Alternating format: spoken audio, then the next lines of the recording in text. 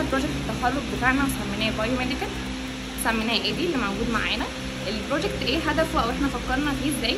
إحنا فكرنا في تقنية ال AI technology ان إحنا عايزين نزودها للمجال الطبي أو للمستشفيات في حالات الطوارئ ان إحنا عايزين نوفر عمالة وفي نفس الوقت نوفر extension لحاجات إحنا محتاجينها يوميا بكميات مختلفة وكويسة بالنسبة لنا. طيب إحنا عايزين نعمل كده إزاي؟ إن إحنا هيكون ال ID أو ال project بتاعنا موجود في الطوارئ في المستشفيات بيعمل check up للمريض أو بياخد منه feedback بحيث إن إحنا نسهل الموضوع ونبعت له على طول على الحاجة اللي إحنا عايزين نعملها.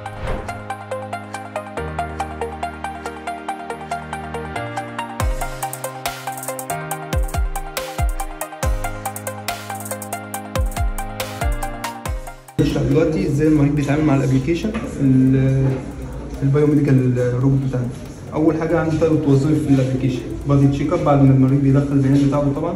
body check up من خلال ال sensor ده blood oxygen sensor وعندي هنا temperature sensor بيجي المريض بيضغط هنا عند ال blood oxygen ويقرب ال temperature sensor ويدوس هو start check up تبدأ النتيجه تظهر عندي في ثواني قدام المريض على الشاشة.